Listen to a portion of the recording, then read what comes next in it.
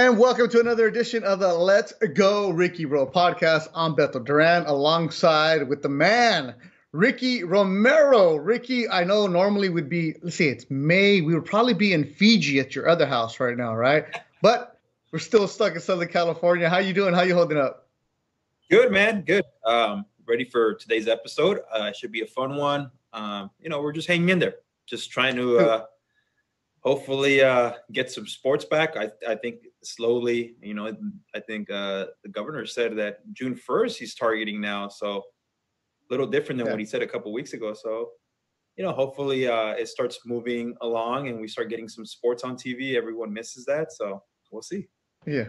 No doubt. Be uh, it's a bunch of different things. You know, working in sports, you hear what's going to happen, and you hear things one day and you hear things another day. But what we do know is if you're watching on YouTube, we appreciate you. Make sure you subscribe to the podcast, and if you're listening on iTunes or Spotify, go and leave that rate and review. Let us know what you're liking about it because the podcast is just growing and moving, and we're hooking you up the fan. If you're watching on YouTube, you can see Ricky's hat, that West Side Love, and you see that shirt over my hat side, and I also got the hat. West Side Love is hooking us up, and by us we mean you, the listener, the viewer. Go to their website or go to their Instagram, Westside Love. Uh, you check them out and use the code Ricky Dash Row Ricky Dash Row, and you'll get 15% off shirts, hats. They got some hoodies, all kinds of good gear. Uh, and I kept joking last week. I put on my Instagram. Remember, it's like it's not an ad. It's not an ad. People are like, it's an ad. I'm like, no, it's not. Like we're not getting money out of it. But enough people have been asking us, dude, where are you getting the sweet gear from? And we're like, dude, let's do something to hook up the listener and the viewer. So Ricky Dash Row, you get 15% off, Rick. That's cool it's pretty cool. And like I said, the the we've we've gotten a chance to interact with the with the guy who owns it, and he's been awesome. Um, I oh, like you it. have? I never met him. Okay, look at you. like I told him, I was like, "Hey, man, I came across across to you guys just by an ad, and I love the logo, and boom, I support you guys. You know, West Coast. You know, it's it's it's awesome. You know, check it out." Yeah, and we have been practicing social distancing. I haven't seen Rick in a while, but I've gone to his driveway and what do I drop off every single week, Rick? Some craft beer, man. craft beer. So, yeah. Craft Beer Kings, my dude Mo and Mike Salam, they keep sending me beer, right? And the beer is for the podcast guest. So craftbeerkings.com. When if you ever go to the store in El Monte, tell Mo that I sent you, that Ricky sent you, and they will hook you up with a couple extra cans. So I went the other day and I got all kinds of beer right now, Rick. Like they loaded me up. I'm like, don't know what to do. So every week, Mo, I am dropping off the beers to Ricky. He is hooking it up. He's all set up. They're backed up. They will ship all over the country. Another, not commercial, but they're hooking you up. So I sent some to my friend in Atlanta the other day. I sent some to different people. So craftbeerkings.com. And it sounds like we're signing with a bunch of different commercials, but it's not. It's just we're just hooking up the good people. But yeah, this one came out. Look at this bomber right here. Belching Beaver in San Diego. All right, that's it. Let's get going. Ricky Romero, today's guest is a dude that probably isn't old enough to drink, right? He's a youngster that you've known for a couple years. Yeah, yeah. I think I'm. I'm. I don't. I'm not sure if I'm a little frozen or not, but I don't know if you can. You hear me? Yeah. We just keep on talking. Just keep on talking. Okay. Okay. Yeah, man. I mean, uh, our guest. Uh, yeah, he probably. I'm not sure he's old enough to drink. In Canada, he is. but um, you know, our guest Mike Soroka, I got to meet him last year at Dodger Stadium. It was actually pretty funny because uh, the trainers that are there with the Atlanta Braves were the trainers in Toronto when I was there, George Poulis and Mike Frostad. And I, I went to go see them, and George came up to me. He's like, "Hey, man, there's actually a kid here who grew up a Blue Jays fan and big fan of yours." And uh, and yeah, and his name's Mike Soroka, and I was like, wait, what? You know, are you kidding me? That's pretty cool, you know. And and and and I already knew who he was. Obviously, uh, the kid was dominating at that point and continued to dominate the rest of the year. So uh, yeah, I mean, he was. Uh, they said he was. George is like, don't don't worry, just you know, he might be a little shy, and I'm like, nah, man, nah, nah, nah. So you know, that's how we met, and kind of we built a little bit of a relationship, and now he's our guest here on the Let's Go Ricky Ro podcast. Yeah, Mike up, Soroka. Mike, let, okay, let me say. How do you say your name, Mike? Just so we can get it right. Last name Soroka. Yes. Soroka. And right now, I am going to apologize. Yesterday, I sent a tweet you know, I'm an honorary Canadian. Mike Soroka, Calgary, Alberta, Canada. I apologize to your dad, Gary, because I'm so used to the, the Ontario. Because my my people in Toronto, you my t- Toronto passport. It's Calgary, Alberta. Mike Soroka, how are you doing? Welcome to the show. I'm good, guys. Thank you for having me. I'm uh, just kicking it here in Atlanta, waiting for uh, things to get going here. All right. So Ricky told the story about how you guys met at Dodger Stadium last year. How did that come up for you, Mike? Yeah, it was good. I uh, like I said, I don't I don't think I knew he was there. Uh, I think George Poulis kind of brought me aside um, and told me that there was someone there that he wanted me to meet. And I, you know, when people pull you over in BP, usually it's like friends or family that are, are standing along the lines. But uh, I saw him from a distance, and I, I, think I was I was smiling the whole way there because, um, I mean, yeah, I grew up a Blue Jays fan, and then right when I started watching, um, would have been some Ricky's best years in Toronto. Um, I won when my dad and I won a trip from Home Run Sports to go watch the Blue Jays in 2010. Um, so he he might have a better recollection than I do about that year, but that was kind of when I first really got into baseball, and and he would have been uh, one of the pitchers that I was watching at the time. So he, uh, I think Ricky's trying to figure out his audio, but we'll get to him right now. So you said you grew up watching him. Now Calgary and Ontario, not next to each other, right? But was Ricky that guy? He was your one. That's the one you were watching.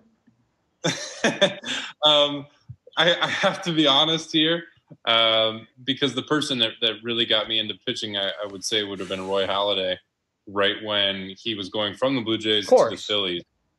Um, so he was he was kind of the one to watch, and I think everybody would agree. I think Ricky was probably watching him too when they when they first started playing together. Um, but no, I mean it was uh, it was a fun time because there was. Uh, I'm trying to go back on names, but Brandon Morrow was another one that I like to watch, uh, especially when he had his stuff. He was one of those guys that, um, you know, his stuff kind of came and went, but when he had it, he was one of the most fun guys to watch too. And um, like I said, I, I think probably my love of pitching came from watching guys that actually pitched like Ricky. Now, uh, I think Ricky uh, will say this. He told me about it last year when he like he came back into the group chat. He's like, dude, there's a kid who came up to me at Dodger because he was there. I think Ricky was just like a watching and hanging out. On the uh, you know he's officially retired. And then in the group chat, he comes back. He's like, there's this kid, Mike Soroka, who I was told that he knew who I was. He's like, I used to watch you pitch. He goes, I feel old now. But that, all right, for the people who don't know, because Ricky, as you know, that Ricky's like one of the most humble persons you'll ever meet. When in his heyday, your kid in Calgary, and you know, with Halladay and Brandon Morrow, and all those other guys, Ricky was the man, right? That's who you guys were watching.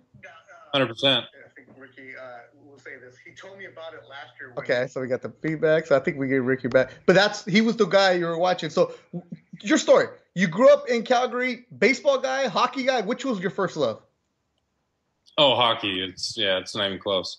Um, I we played baseball as a summer, you know, getaway from hockey. Basically, I remember it was only, you know, a couple months of our summer just because it was, uh, you know, getting ready for hockey season as soon as school started. Really, um, you know, we were in hockey camps as of August. So, really, if baseball started in June, July, and then you have August off.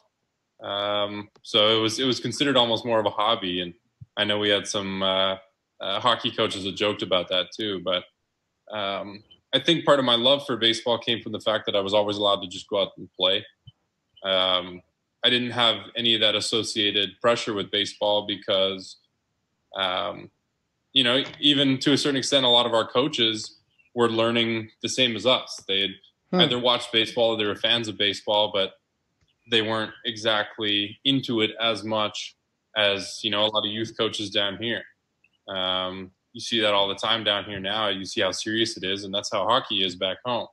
So I think with baseball, I was allowed to go out and play, and that's why when it came decision time when I was about 14, um, I think it was pretty obvious because I I like to play baseball so much more. And hockey wise, you were the goalie, right? I was, and that I honestly at the end that's probably why I ended up uh, choosing baseball because I fell out of love with practicing as a goalie.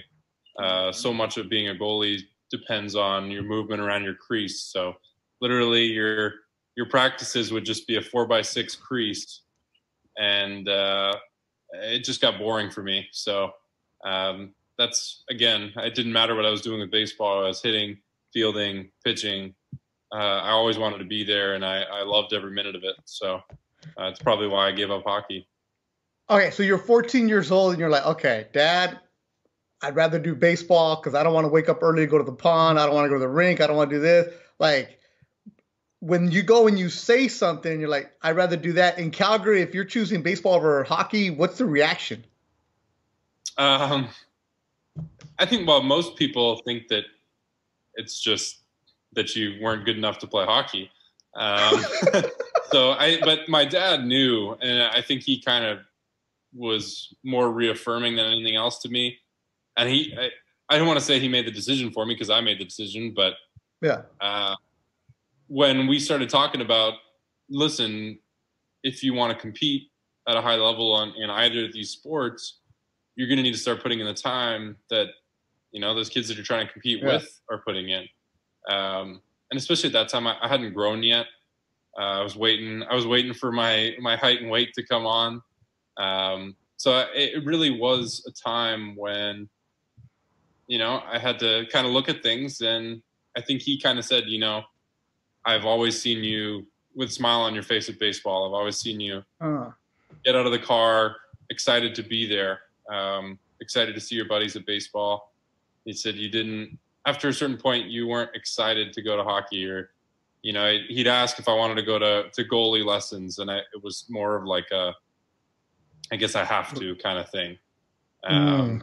So that was, again, pretty easy. And he made that, uh, he made that decision very easy on me because he wanted me to do what I enjoyed. Um, so it, it moved very smoothly.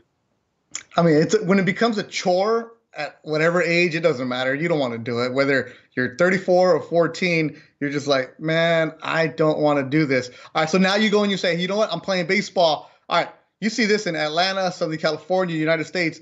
There's kids that are playing eight, nine games a, a weekend at the age of eight, you know, with the travel ball circuit and everything else. Calgary at 14, what's the baseball scene like there? So I got really lucky to be able to join a program um, ran by Jim Lawson and um, a couple of pitching coaches that had, had been uh, in either professional baseball or, you know, as Chris Reitsma spent seven years in the big leagues. Um, they were they were there, and that was an obvious choice for me to join that program. And it was, although it was a year-round program, of course, we only played games from April through October, really, um, as weather permitted uh, in those end months. But it was so much more developmental than I think a lot of kids down here get. Down here, it's almost so focused on being at the top level, every single level you're playing at. Everything's about velocity. Everything's about, um, you know, teaching kids just mechanics and everything to the point where it just waters down the actual game of it. Um, and again, that's where I say I got to love doing it. Um, I still love being able to take ground balls uh, because those are the days where I went to the field house after school with a buddy, and it was just us in there, and we were able to, you know, hit live hit line drives at each other, or um, I'd throw them a flat ground, vice versa, um, and we just got to play and I think that's where things really started to take off for me. Yeah, part of the thing is, you know, you just want to play, you want to have fun. At the same time, when did you say, you know what, I'm actually pretty good at this? I think there might be a future. Um, it also, I guess, it all started. I guess, sort of in 2013. Um, I had grown a lot height wise that year. Um, I think going into going to my 10th grade year, I was like six foot two, and the year before it was like five foot five or five foot six. So I, would grown a ton. Yeah, I'd grown a ton, and obviously I was a little gangly. I was only about 145 pounds, but uh, I velo went up. It felt like every month I was throwing harder and harder. And you know, I didn't believe my dad when he telling me that I was throwing harder than you know all the older kids at the field. Um, you know, I thought that was just something that dads say uh, yeah. to get your confidence up. But once I kind of got out there at a Alberta top 40 tryout, uh, I think I hit like 87 or something. And uh, that's when it kind of hit me that, oh man, that's pretty hard. You know, like that's, that's coming in pretty good. And at the time, I think it was only 15. Um, and then it all, all came down to being in the weight room and, and getting stronger and getting bigger, um, filling some things out. But really, I think that's when it started to take off that, okay, I think I have what it takes to, to be able to play collegiate baseball. Um, and really, that was the only focus for a while, was because anytime you can get money to go get an education um, and get an experience to play at a, at a pretty cool school for four years, I think that's a win.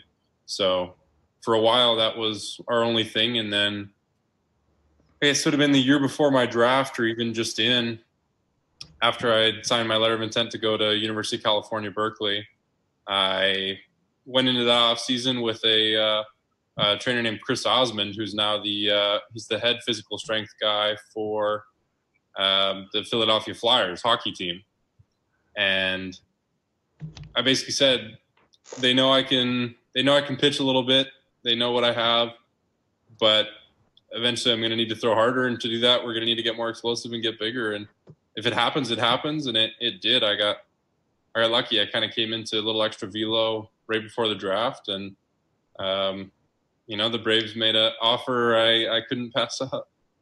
And we are back. Sorry for the confusion, the technical difficulties. I tell you, when Ricky lives all over the world, we have so many numbers for him, but he is back. Ricky, we continue to roll. Soroka's just giving us the details, bro. Like Calgary, he's the man throwing 87 when he's 6'2, shooting up. He's the he's like stretched out. You back, Rick? Yeah, I'm back. I'm back. I can hear you guys. All right, all right. So when you uh yeah. when you saw a kid from Calgary talks to you and tells you, "Hey, I'm going here. I'm doing this in major leagues," as a player who who uh, made his name in Toronto, it's pretty cool to see these young kids coming through the country, right? Make a name for themselves in the United States, Rick. Oh, for sure, man. Yeah, I think, and for me, you know, I think you grow playing there and and you know obviously getting to know the Canadian culture and all that, you get to see, hear and see a lot of these guys, or hear more hear about them because, like I told you yesterday through text, Canadians are really proud about their Canadian Canadian athletes, especially when they get to the you know whether they're Olympians, uh, big leaguers, NBA guys, they're all over the, the, the news there, and they do a good job of uh, of uh, making sure they get the right platform and and and and people get to know them before they even get to the big leagues. So um, you know, I think that's one thing they do really, really well out there. Uh, they're just, you know, really proud people. Like I said, nobody sings a, a national anthem like they do. And, uh, you know, Mike, Mike will be the first one to tell you that. And, um, yeah, I mean, it's like, it, it's always cool when, when you get to see these guys, you know, you see the, when Larry Walker just got in, in, in uh, in, into into the Hall of Fame this year, he uh, you, you could see all these guys tweeting about him and the, the genuine love that they have for this guy. And and that's just goes for like everyone that puts on a, a canadian jersey i feel like. And mike well representing your country how much honor and pride do you have in that? That was cool. Um, again that's another experience that you kind of go through especially on the junior team when you're 15 16 17 uh, and your main focus is going to college, but you don't have you don't have quite a sense of what it means to actually play for your team, especially in baseball, uh, or sorry, play for your country, because that's not an opportunity that you get too often in baseball, uh, and especially to play with you know the best of. Um, I know Bryce Harper had said it on the uh, Starting Nine podcast uh, that he wishes that you know we were good to go to the, the Olympics and um, hockey did that for years, and that was by far and away the most watched game, at least in Canada. I, I, there's no doubt about it. Um, we're always more proud when we come together as a country, and I think that that comes into to everything. Um, you know, Baseball Canada is such a close knit program uh, that you know so much so much of us know each other, and you know, like I, I good buddies with uh, Ricky Romero's first roommate when he was with the Blue Jays, Scott Richmond, uh, we were talking about earlier. Um, you know, Canadian baseball, it, it kind of kept it tight, and uh, he's been amazing to them as well. He's he's always been around, and he's been with the senior team for a long time too. So uh, it's examples like that that we try and follow, and uh, you know, keep it alive. Yeah, and and, and like I said, Beto, I think it's it's genuine love in between between these guys, and you can see that they're always rooting for each other. I'm not saying that other countries don't do that, but you just see the love that the passion that they have. Obviously, it's a big deal when they beat the U.S. in anything, you know, and, and you know, see the U.S. is always superior, supposed in in different sports, supposedly, you know, but you know, Canada's always there, and especially in hockey. I remember watching that game in spring training, and it was actually Scott Richmond and Adam Loewen who were the only Canadians on the team. And oh yeah, uh, and we had a big, big uh, gathering, and uh, Vernon Wells kind of set it up in spring training. And I remember watching that game, and those guys, you could hear a pin drop when uh, Crosby scored the goal and, at the end, and um, yeah, and those two guys were like going crazy celebrating, and everyone was showering them with like we had we had like little pucks and everyone was throwing pucks at them like in a fun way. And those guys were just loving it stage they did a whole like gold medal ceremony. It was hilarious. It was hilarious. They rubbed it in our face as much as they could and um, but it was just funny you know? It was it was just the camaraderie that we that that that, that team had and you know having those two guys uh rooting for canada was just it was just funny because like i said it's just there's just such a big rivalry anytime they play in any sport you know? Whether it's you know, baseball, hockey, women's hockey. It could be anything. It's always Canada, U.S. It's like, oh, us against you guys, and it's it's it's always a, a fun, uh, com- competitive. Uh, you know, the competitive nature comes comes out. But uh, what I, I, wanted to ask you, Mike, um, obviously, Calgary. You know, for for a lot of the listeners that are from the United States, um, you know, I got to go there. Uh, I think for the second time this past this year. Um, yeah. And I this this time I realized, you know, how big the, you know, how big they are into like eating meat, you know, and and I never realized that the first time that I went, and and it's a big it's a big farming uh, area, right? Yeah, Alberta is. Um, you know, we say Alberta beef. We take pride in Alberta beef. Um, yeah. uh, yeah, no, I mean, just outside of Calgary, that's that's why people think um, you know, I, I, always compare Alberta to kind of like a, a, Texas with no guns, um, just because it, it, literally it is two bigger cities between Calgary and Edmonton, um, and then you have a couple smaller ones in Lethbridge and Medicine Hat, but um, it really is those two big cities. And after that, if you go west, I guess you get Banff and then BC in the mountains, but it's uh, it's I mean ranching and farming land, so we take pride in that. We, uh, you know, we have the Stampede there as well. So um, I heard, I heard that's a big deal. Did, I mean, did you? I'm sure you've all, you've been busy with baseball lately, but did you ever get a chance to to kind of experience that whole party stuff? Uh, not really. Um, the last times I'd been before I was legal, obviously I'd been to, uh, I'd been either playing baseball, and then once I signed, uh, I was only 17 when I was drafted, so uh, wow. Legal age, legal age up there is 18. Um, which, by the way, I'm 22 now, so I am.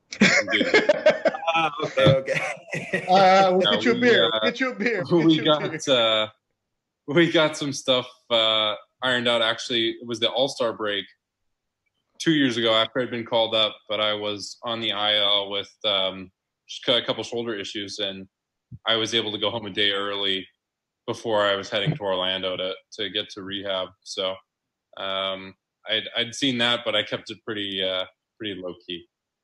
All right, so the Calgary sure. Stampede, right? That's like the big thing. It's like the big rodeo. Everybody talks about it. Were you a cowboy growing up too, Mike, or what? Or just all just an athlete? No, not really. Um, you know, there, there's certainly lots, and I think we take pride in it. And everybody's a cowboy for two weeks or cowgirl. um, you know, two weeks when the Stampede comes. Uh, but no, I, although I grew up on kind of the edge of the city, still much more of a city boy than anything else.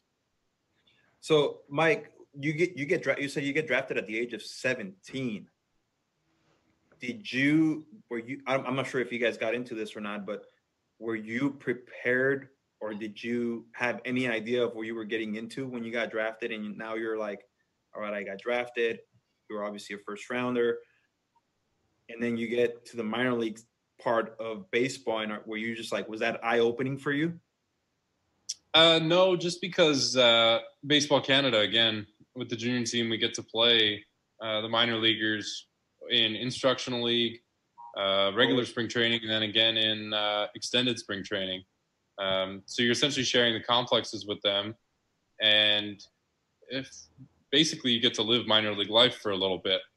Um, you, so you get a, you guys got, you get a pretty good idea. You guys got to play against the Toronto Blue Jays too, right? Minor leaguers.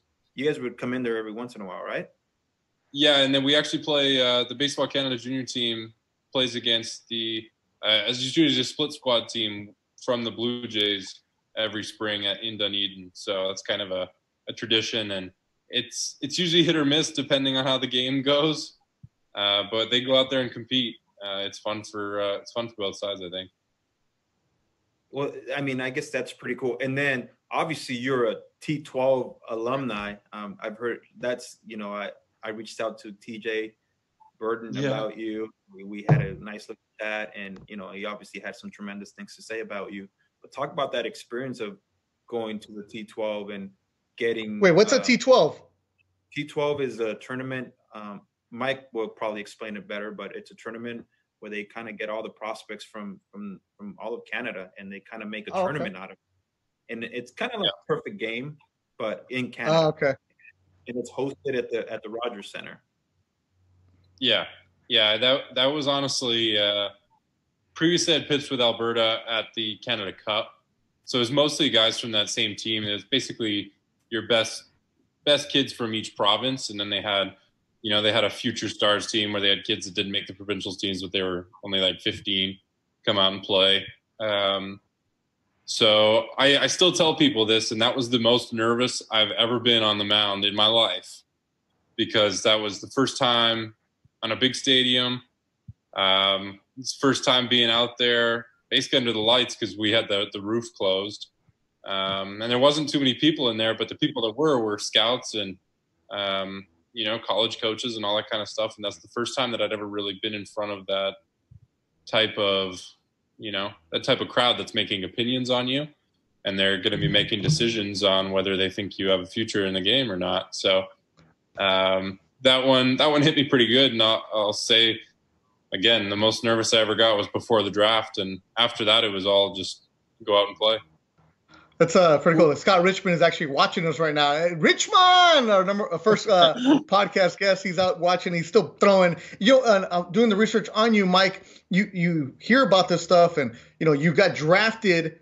Uh, you're at home with your dad. You get drafted, and then you had to go and write a physics paper, and then but you overnight became a millionaire. Like your life completely changed. And three years before that, though, you were still a hockey goalie. You're competing in an empty arena when did you say, you know what?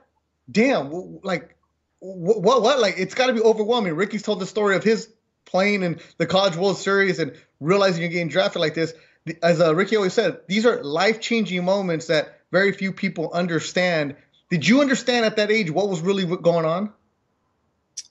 I think I did, and, and a lot of that was because of uh, being able to talk to coaches that have been there and I mean, Greg Hamilton with Baseball Canada too. I mean, we talk about it all the time, and and we have long talks, and he really does a good job of kind of pushing life on you before it happens, to really get you to understand that you know things are going to happen pretty quickly, and and you better be ready for them. So, I think I was as ready for them as you could be.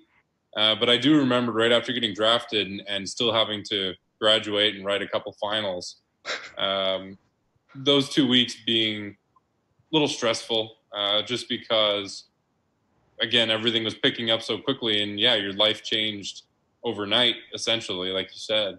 Um, so other, other than that moment, though, I mean, once I got down, once I started playing, uh, and kind of fell into a schedule of everyday life, um, I, I, think things pretty pretty well moved pretty smoothly for me at least. Um, where, where where did you think? Did you think you were going to the Atlanta Braves, or did you think you were going somewhere else?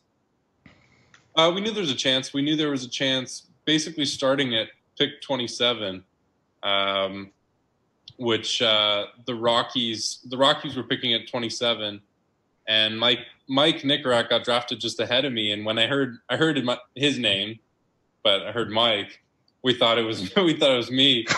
Uh, so that was that was a bit of a spike and then a letdown. Uh, but then the next pick, we knew uh, we got the call from the Braves uh, right before the pick, um, and I was actually on a bit of a delay on MLB.com because we don't we can't get MLB Network on TV, obviously. Um, right. So like a minute after I think the pick had been made and my phone was blowing up, I saw it on TV.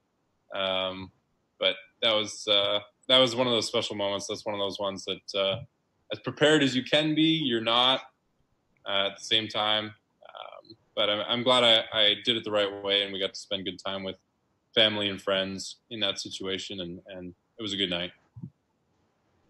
Yeah, and, and I always talk about the, the, the draft night for me, or the draft. It was during the day actually, and we huddled up around a little computer because back then we didn't have MLB Network or there was no TV coverage about it. So you kind of yeah. just sit there and huddle up around a, a computer that that we had that was in my sister's room, and I just remember that too. And it's a very emotional moment that you share. Obviously, everything you've worked hard for, you know, your dreams are close to becoming true uh, obviously for me, I didn't know what it was going to be like. All right, I signed, and now I'm stuck in short season, Auburn, New York, and I'm like, what the hell? This now, this is a real introduction into pro ball, and you know, a little, a lot of the stuff was eye opening, and it took a little bit for me to get adjusted, and uh, and what what do you remember? What pick the Blue Jays had that year? I do. Sure, pick 29. they were right I'm after. Sure, they were. Oh, they they were. Right yeah, after the were, Braves.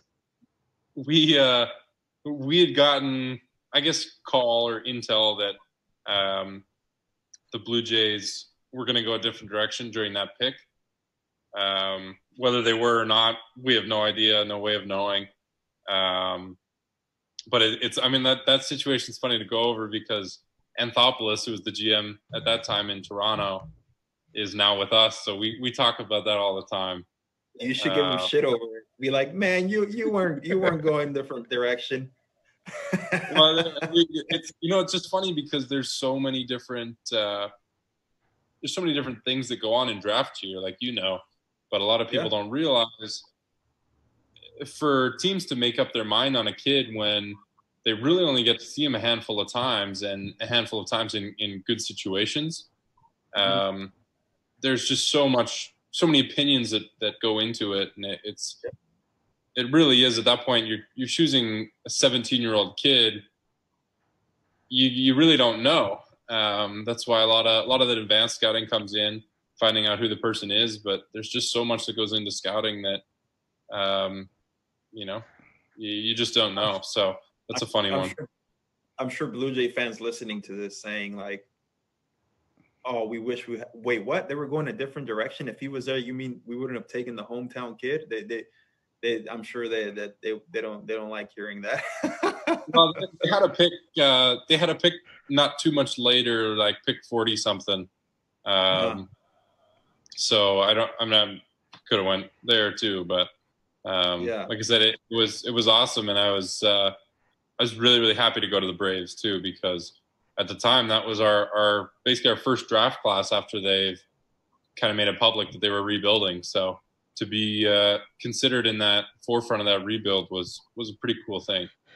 Yeah. It's interesting because the Blue Jays that year took uh, Jon Harris, a right-handed pitcher at uh, Missouri State. So to go and say that they weren't, you know, still a pitcher so there you're wondering right there. All right, let's, let's move on here because I know you got to get going. You got to work out. You got all kinds of stuff going on, uh, Mike Soroka. We figured it all out.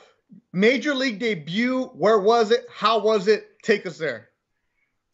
Uh, it was in New York on May 1st, two years ago. Um, well, before before you get into it, Mike, talk to us about the call up, like when they when you're oh, yeah.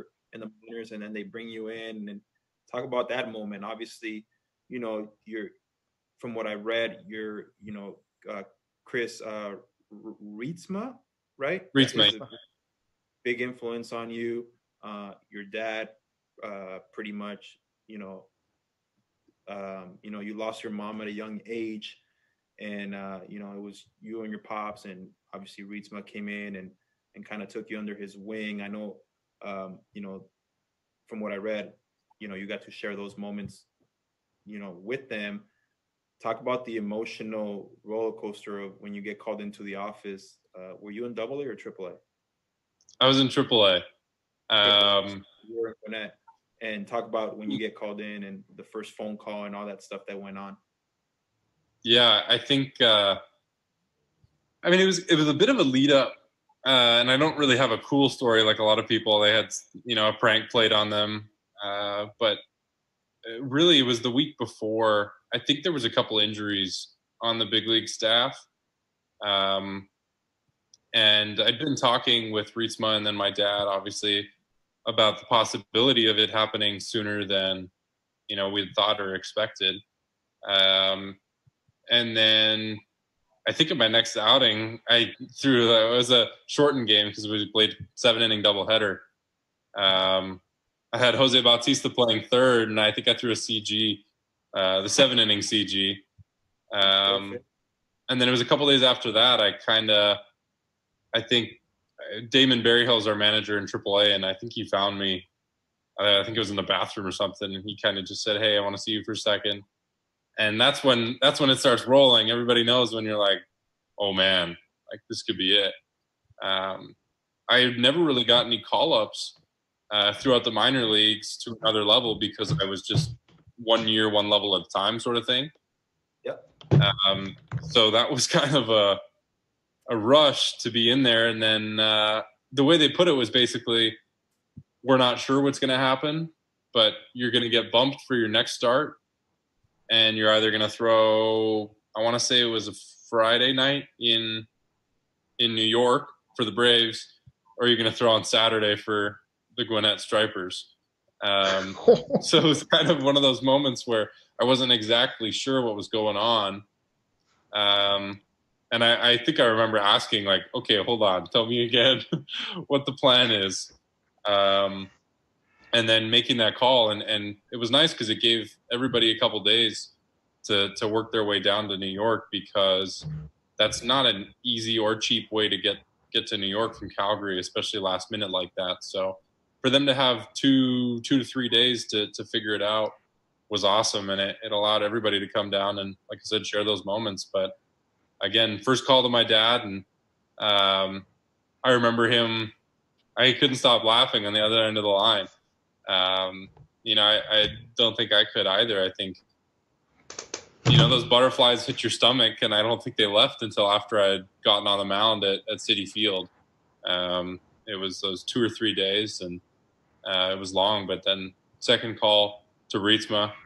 Um, I mean, yeah, incredible. I mean, he he he's one of those guys. He, I mean, he took the time um, just to come out and run pitching clinics in Calgary, and then getting to work with him over and over again with Calgary, uh, the pro baseball force. Uh, I mean, he'd really been there every step of the way, and he'd seen it from start to finish, uh, and he's been one of the biggest parts of my life, really.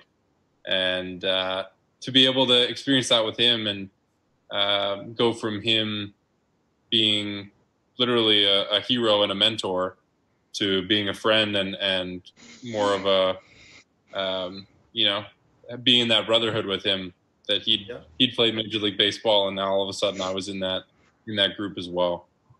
So all right, so you make your debut in New York out of all cities. I mean, make your debut and where did you go eat after?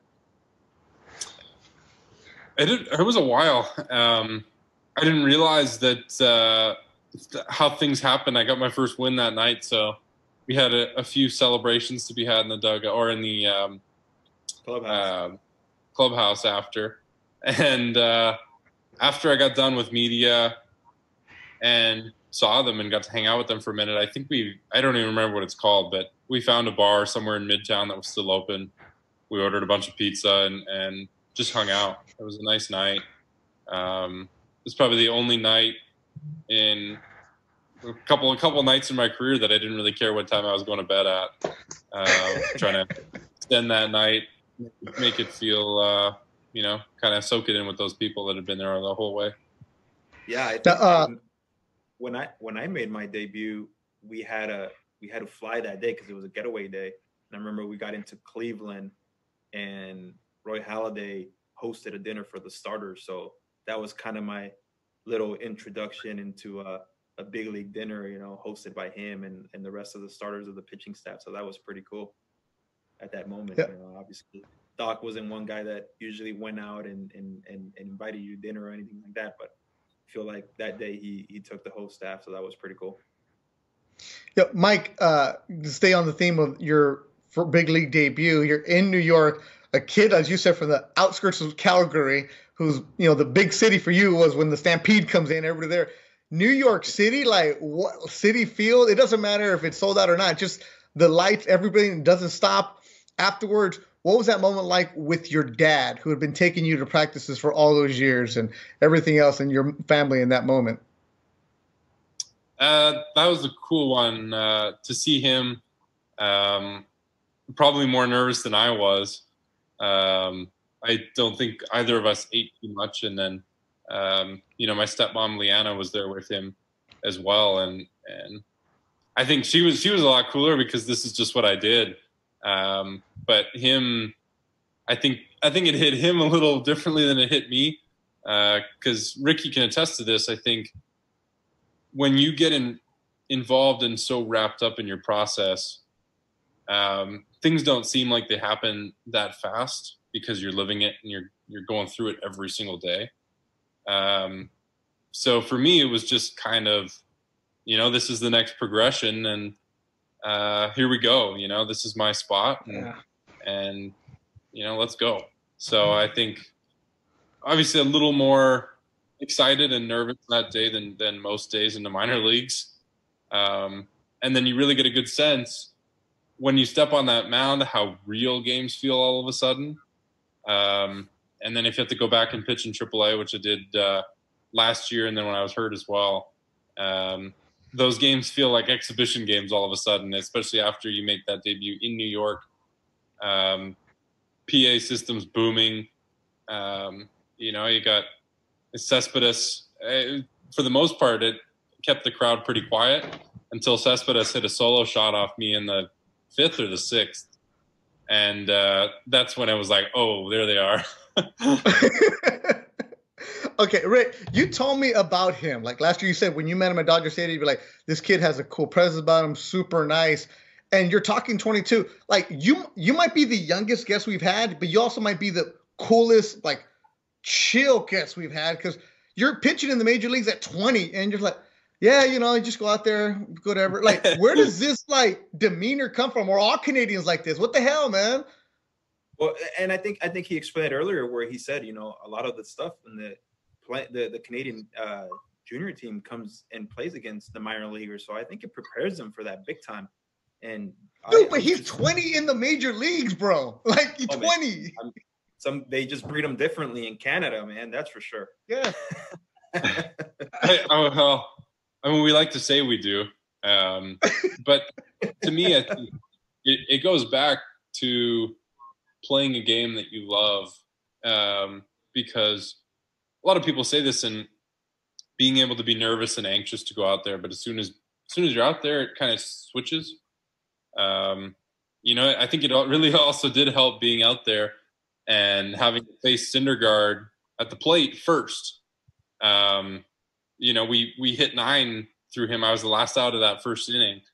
Um, but to be at the plate first and kind of have to figure it out there, it felt like just kind of another inning to go out.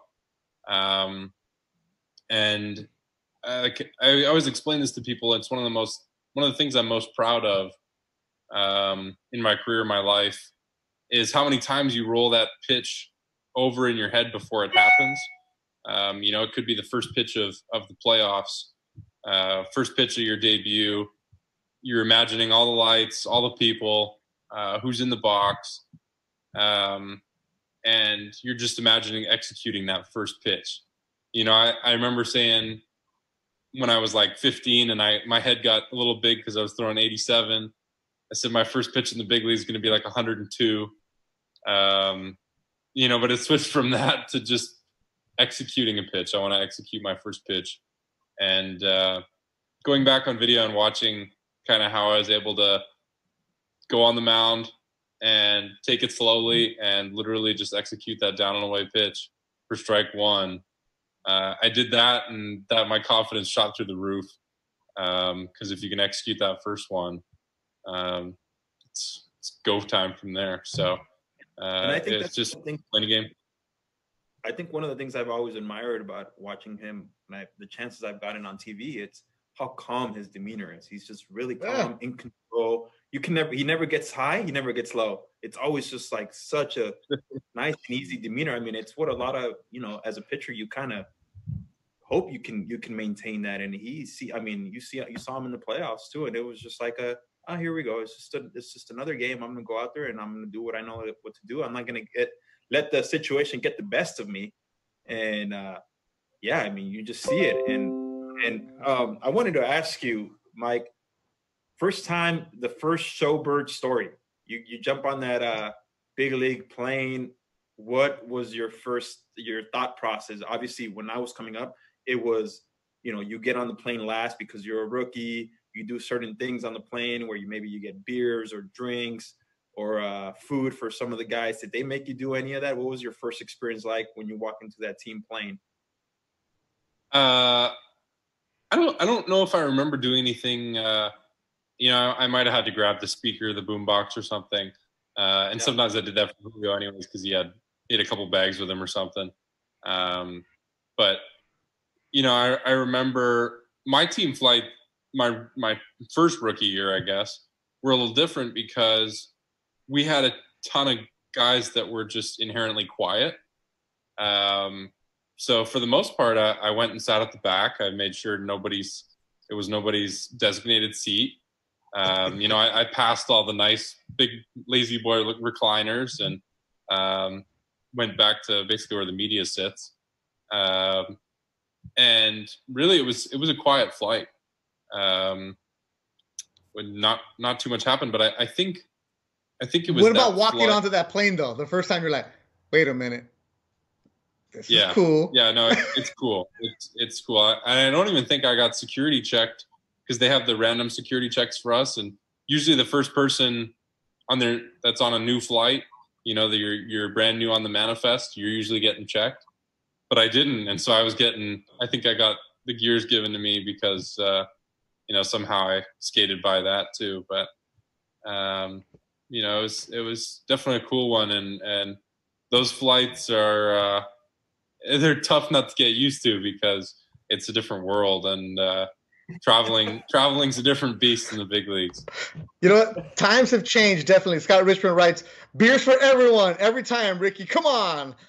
Now it's different. Times have changed. We forget though rick he was a rookie a year and a half ago. It's like completely different. Times have changed. Guys don't have to get dressed up anymore. We are now sounding like the old man right now. And I think, think about it.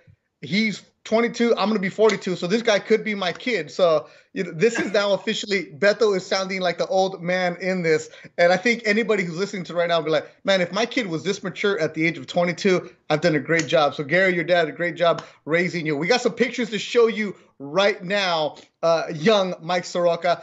This is the picture. Uh, our guy John back at the studio is just going to throw him up there. So John, whatever you have, throw right. him up. I just want to see your reaction. Oh yeah, look at that! Look at that front hip. Where's this at? Guy. Who is this? That's good. Actually, you know what? You know what's funny? The uh, the kid playing first base behind me, his last name's uh, Romeo. He's from uh, from Venezuela. Javi. Uh, they were a good good family. We played with them for a long time, but um, man, I, like that was with Calgary West Little League, um, and uh, probably right after I'd been at Reitsma's pitching camps for the first time, and it was all about you know point that back pocket to to your target and stay closed, and then let it rip. So uh, that lean is uh, I come by honestly. It's something I still do today. All right, smooth, smooth. What else we got, John? What's that? Who's this stud? Yeah, I don't know what we're doing with the hair there, but um, that's uh, that's when that's when you really fall in love with with being a goalie as a kid when you get brand new gear. That looks pretty new to me. Um, or at least that season was brand new gear. So uh, wanted to show all that stuff off. It's always fun to get the pads. Um, Look at that. nice uh, tape job too. That looks smooth right there.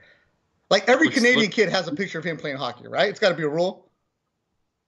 It's got to be, yeah. I mean, most athletes, right? That's that's what you gravitate to, and I think that's why uh, you don't see too many baseball players, especially from that side of Canada, because the athletes are just wrapped up in hockey and their opportunities are sent to them. I remember we had a kid, a couple of kids come out 14, 15 years old, throwing mid 80s, but they're going to go to the Western Hockey League and their shot was better with baseball, they figured. So it's kind of just, uh, you miss out on a lot of the athletes. And Ricky, uh, you've had some fans that love you. Oh, Reitsma is a fan favorite. What's going on here? Halloween. Um, we wanted to do lumberjacks, but we wanted to spice it up a little bit. Apparently, um, maybe show, show off the uh, the hard work from the gym. Maybe. Um, yeah, that's, that's what's going on there. So, what do you do? Leg day every day? Uh, for a while, yeah. Um, you know, I think uh, it might have been that off season that we were doing uh, basically full body every. I guess it would have been four days out of the week. Um, and uh, yeah, man, I, I, fell in love with that stuff. I, I was a bit of a meathead for a while, and then uh, after I got hurt, I learned I, I had to be a little different with it. Uh, now I'm learning what I can and can't do, um, but it, it's all part of it. Mike yeah, and Rick, I don't. oh, I was going to say before. I know you got to run soon, but I just kind of wanted to ask you about that first All Star experience. I got to do yeah. it once, only once. Hopefully, you get to do it for a long time. Do we have another one? Oh, there it is. The there's there the it is. All Star game. How how was that experience when you walk into that clubhouse and you see so many uh you know stars and guys that you probably grew up watching? How was how was that experience yeah. when you, you first walk in there? Yeah, that was that was the crazy one. Um, you know, I always say playoffs were the best experience, um, but All Star was just different because, like you said, then you know, it's kind of like showing up to your first big league clubhouse on spring training, you know, your first big league camp, and you see the guy that, you know, you've been watching coming up through the minor leagues. You know, Freddie was that guy for us. Uh, when you're actually sharing a clubhouse with Freddie Freeman, um, you know, that's that's kind of times 10 when you get to the All Star game because now my locker's next to Freddie. And, uh, you know, he's talking to all the guys he's seen over the years. And, um, you know, he's talking like he's buddies with DeGrom and all that kind of stuff. And again, those were guys that I watched and tried to take things from. And uh, guys like Scherzer and Kluber when they were winning Cy Youngs and they were just trading trading zeros year after year. Um, to be kind of in that same spot was probably honestly the first time in a long time where I almost questioned whether how, how I got there. Um, wow. You know, and that, that comes back to inherently trying to be confident. But uh, that was the first time that I was like, whoa, okay, this is a little different now. Because uh, these are guys, you know, you look at the patches on their jersey that tell you how many years they've been there. You know, Kershaw's was like his ninth or something like that. Um, and, but that, that's what you associate the All Star game with are those superstars. And, um, you know, that was that was a weird one, but well, awesome. Hopefully, hopefully we see many, many, many more out of you. I know uh, I, am good friends with your buddy uh, Max Fried, and he wanted me to ask you. He said, "Hey, uh, ask him about his mid workout snack during quarantine. He seemed he says he has the timing down perfectly." I do, I do. Um, it's not a mid workout. Uh, it's kind of. I guess it's near the end. Um, you know, there's actually a lot to basically say how soon you have to eat right after you're done working out, especially if you're doing something like squatting, deadlifting, where you're getting a, a really heavy response from your body. Um, basically, the, the sooner you eat, the more you fuel what was just broken down. And so near the end of my workout, I get the oven going, and I I lost some weight. I kind of go up and down, so I, I go in a bit of a fluctuation period, and I, I needed to put on weight, so I was doing uh, chicken wings and tater tots. Um, jeez. and you know, midway through the workout, I could get the oven warm, throw those in. So as soon as I was done, I could throw those down, and uh, man, it, it's it paid off. I put on uh, I put my weight back on pretty quick. Yeah, that's what happens when you're 22. Protein and carbs with tater tots and chicken wings. Rick, you got a, a Vega brand uh, bar and a shake, and this dude's got freaking tater tots. Yeah, I'm over here uh, trying to be uh, plant based as much as I can and trying to lose some weight. This guy's trying to put on weight with chicken wings and tater tots. No, Yeah, it's, it, uh, it, it goes in it goes in it goes in a big circle, I guess. Um, yeah, it, it's called metabolism. You still have it. We don't. Don't worry about it, young man. All right, don't worry. All that Calgary beef is gonna catch up one day. I know you got to go get your uh, tater tots and wings ready for your workout as you're in Atlanta. Final thing we uh, like to leave you with, um, and it's kind of weird because usually we ask, what would you tell your 18 year old self the best advice? Because usually we get these salty vets on the show, but not today. Right now, a kid who is say 14 years old hasn't quite clicked for him. What's the best advice for a kid who wants to grow up and be you? Uh, Ian, this is a hard one. It's kind of general. Um, but, you know, I think one of the things that was always hardest for me um, was expectations and constantly comparing myself to others. And in a, in a way, it needs to happen because you need to understand what one guy has that you don't, what what separates you from him, and vice versa. Um, but I do think I gave myself more stress than it was worth putting things in a situation where I needed to be constantly, like I said, it overconfident or sorry, over competitiveness was one thing. Um, but realizing a little earlier that I, I could do what I could control and compete with myself, and I didn't need to kind of be that, you know, edgy competitor that everybody thinks you need to be to be at the top level. Mm. Um, you know, there's there's nothing wrong with watching a guy go out there that you're competing with and wishing well for him and, and wanting to see him do good as opposed to, you know, always worrying about what others are doing. Uh, and like I said, that that's tough when you first get drafted and then there's so many good players.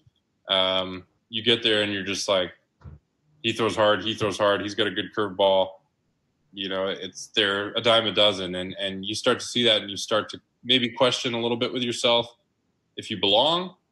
Um, but the year I finally stopped thinking about what others were doing and working out about how I needed to get better and how I needed to compete with myself was when things started to take off and Hmm. wish I'd learned that a little earlier.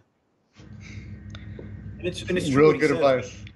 It, it's it's a bit it's true what he says. You walk into to spring training for the first time, even minor league camp, and you're just like, whoa, this guy throws hundred, that guy throws hundred, this guy throws ninety seven with a nasty hammer. And you're like, whoa, dude, dude, am I worth what they gave me? And uh, do I belong here? And and and and but you know the the day you start believing in yourself and the work ethic that you've developed, I think that's where it all changes, and that's where it changed for me, and it sounds like that's where it changed for for Mike too. And it's very important, you know. But I think it's good that you get to see stuff like that. Just you know, the, the best thing I always say: don't get complacent.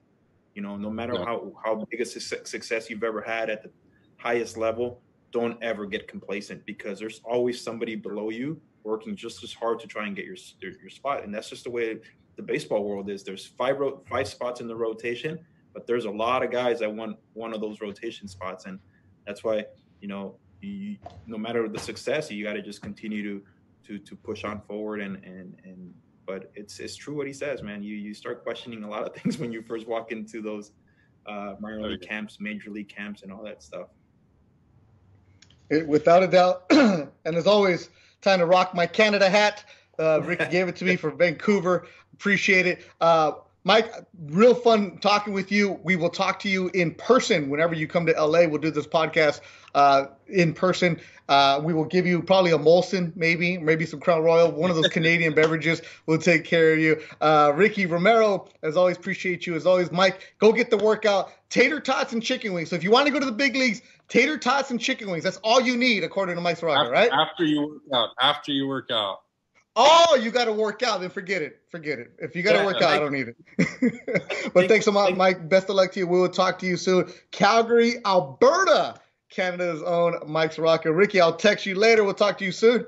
And as always, thanks for everybody listening to the Let's Go Ricky Ro podcast. Mike, thank you so much. We will talk to you soon. And everybody who listened, always go to uh, Let's Go Ricky Ro podcast on iTunes, Spotify. Check it out. Rate, review, let us know. And on Wednesday, coming up, Joey Bats, Jose Bautista is going to join the podcast. So for Ricky Romero, Mike Soroka, I'm Beto Duran. Thanks for listening to Let's Go Ricky Ro. Let's go.